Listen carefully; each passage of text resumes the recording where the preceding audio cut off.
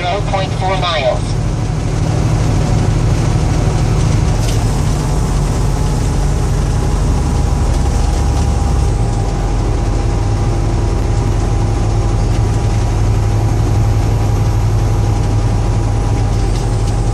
Keep to the left on I-80 East OH 11 North.